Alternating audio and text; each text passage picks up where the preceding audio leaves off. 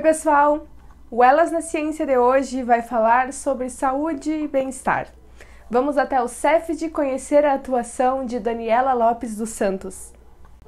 Ela é doutora em Ciências do Movimento Humano e coordenadora do Núcleo de Estudos em Exercício Físico e Saúde, que estuda o papel do exercício físico na saúde e na prevenção de doenças. Todas as pesquisas que a gente vem desenvolvendo no núcleo de estudos em exercício físico e saúde sempre envolvem a comunidade e o foco é uh, a saúde da população. Como melhorar através da qualidade de vida e a saúde da população através do exercício físico e através da adoção de um estilo de vida ativo. Uh, eu penso que a gente está contribuindo de forma geral na área da educação física, na área da saúde como um todo, né, já que a gente envolve muitas vezes algumas outras, alguns outros aspectos da, da saúde, como alimentação, como bem-estar psicológico, volta, volta e meia trabalhamos em conjunto com colegas nesse sentido, né? Então, há um, um ganho para a área, né, fornecendo subsídios, inclusive, para outras pesquisas, mostrando o papel do exercício físico né, e a importância dele na saúde da população. E também para a comunidade, porque nós temos, além de projetos de pesquisa, projetos de extensão junto com os de, pesquisas que, de, pesquisa que favorecem a comunidade. Atuamos, por exemplo, com um projeto que durou 15 anos com pessoas com síndrome metabólica. Eu coordenei esse projeto e atendemos um grande número de pessoas, em torno de 300 pessoas da comunidade que possuíam, que, né, que possuíam síndrome metabólica. E, e, e, todos os nossos projetos, eles acabam envolvendo coleta de dados na comunidade, então favorecendo uh, ganhos, inclusive com relação à orientação de exercício físico para a comunidade. Então eu penso que a gente está contribuindo sempre, tanto uh, para a comunidade como para o meio acadêmico, né? porque não adianta às vezes a, somente um deles. Claro que existem as pesquisas de base que vão fornecer subsídios para as pesquisas aplicadas na comunidade, mas o núcleo a gente sempre teve a ideia de favorecer a comunidade, inclusive os, muitos projetos são projetos de pesquisa e de extensão, então favorecendo a comunidade de Santa Maria e região, mas também sempre coletando dados e informações de forma a contribuir para a pesquisa na área da educação física e da saúde. Daniela também está envolvida em outros projetos e pesquisas na universidade. Atualmente, na universidade, eu sou a coordenadora do programa de pós-graduação em Educação Física, atuo nesse programa, e atuo também no programa de pós-graduação em Gerontologia. Oriento, então, nesses dois programas. Um, e, e, também trabalho com bastante alunos de iniciação científica, né? alunos de graduação com iniciação científica.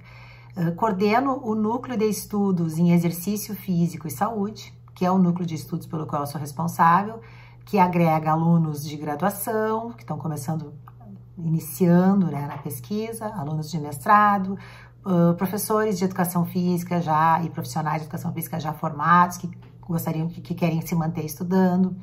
Então, é um grupo com uma uma diversidade bastante grande de profissionais, já teve participação de nutricionistas, fisioterapeutas, enfim, pessoas da área da saúde também. Sempre com o foco de se estudar uh, o papel do exercício físico na saúde, né, na prevenção de doenças, no tratamento de doenças e na melhora da qualidade de vida da população. Também sou a líder do grupo uh, de pesquisa no CNPq, uh, Qualidade de Vida, Exercício Físico Qualidade de Vida. Né? Sou líder desse grupo, junto com uma, um grande grupo de alunos ali de mestrado, de graduação também nesse grupo. temos atualmente alguns projetos em andamento né, no núcleo, então, por exemplo, temos um projeto de uma aluna de mestrado que é com a avaliação do hormônio irisina no exercício físico, tá? Uh, nos diferentes tipos de exercício, que é um hormônio bastante ligado à questão da obesidade, então agora também ganhou bastante destaque com a questão da, da pandemia, né? Um outro projeto também que a gente está avaliando junto com um, projeto maior, uh, junto com o pessoal da administração, a gente está avaliando uh, o programa Academia da Saúde, né, na, na, região central do estado, uh, que é um programa que propõe atividade física para a população, então estamos avaliando uh, os ganhos desse programa, enfim, né, os problemas. Uh, e também temos alguns projetos com, com trabalho de instrumentação na avaliação da atividade física da população.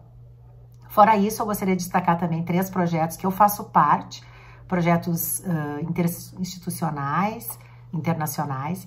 Então, um deles é um projeto nacional, uh, que é o guia, uh, a elaboração do guia de atividade física da população brasileira, proposto pela, pelo Ministério da Saúde, coordenado pelo professor Pedro Halal e que eu fiz parte, então fui selecionada para fazer parte desse projeto através de edital de seleção, né, de avaliação de currículo, e tive o privilégio de fazer parte do grupo que elaborou uh, a, a, a, o guia de atividade física, né, de prescrição de exercício, enfim, para a população idosa.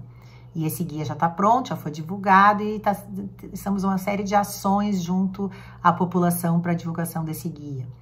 Um outro projeto bastante importante que eu tenho muito orgulho de fazer parte é um projeto vinculado à Universidade de Stanford, onde eu fiz o meu doutorado, um, desculpe, meu pós-doutorado, e coordenado pela minha orientadora do pós-doutorado, que é o Our Voice Citizen Science Global Network. É um projeto em que tem a participação de 20 países, no qual a gente propõe né, a avaliação do ambiente em que as pessoas vivem, né, das dificuldades que elas têm para se manterem ativas, para se alimentarem bem, sendo que a gente aposta na participação do cidadão na pesquisa. Ele faz parte da pesquisa, ele não é apenas pesquisado, é o cidadão uh, cientista. Né? Então, com isso, a gente tem a ideia de também depois enviar todas essas as informações coletadas nas comunidades para uh, os gestores, para que possam agir né, de forma a melhorar a qualidade de vida dessa população. E ainda um terceiro projeto que, que eu também um, tenho muito orgulho de fazer parte é o projeto de educação antidoping, que é um projeto coordenado pelo professor uh, Luiz Fernando Reis, meu colega de departamento, e que é um projeto junto à ABCD, né, a, a autoridade brasileira de controle de dopagem, no qual a, gente, o, a nossa parte do projeto uh, tem o objetivo de avaliar a educação antidoping nas escolas. Então, está se elaborando questionários e coleta de dados nas escolas para ver como uh, o estudante, né, o escolar, vê a questão do doping e o que, que eles aprendem em relação ao doping. Então, são, esses são alguns das, algumas das pesquisas, digamos assim, mais relevantes que, que eu estou envolvida no momento, vinculados aqui na universidade e com outros grupos de pesquisa. O caminho até o pós-doutorado na Universidade de Stanford da professora é marcado por inspirações que a fizeram desejar ser pesquisadora desde cedo.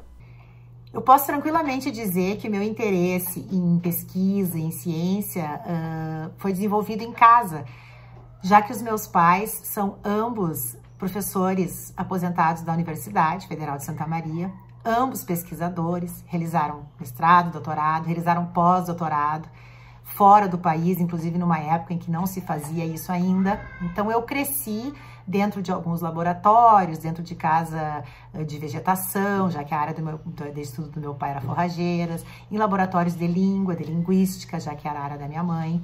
Então, vivenciei isso desde pequena, inclusive nas discussões e conversas em casa, na hora do almoço e na hora da janta, sobre o papel da pesquisa, da ciência, da importância disso uh, no meio acadêmico e no mundo. Né? Então, posso dizer que isso foi desenvolvido ainda em casa, o que é um grande privilégio.